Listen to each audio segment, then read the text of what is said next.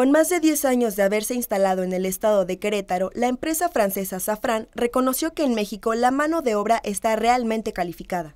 Oliver Andrié, gerente de la empresa, estableció que con la mano de obra mexicana ha logrado niveles muy altos de producción. Es por esto que México es un país estratégico para la compañía dedicada a la fabricación de piezas para el sector aeronáutico.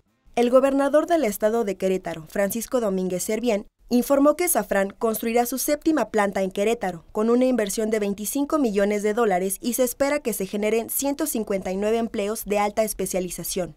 Con información de Germán Meneses, corresponsal, y Carlos Trejo, enviado, Notimex.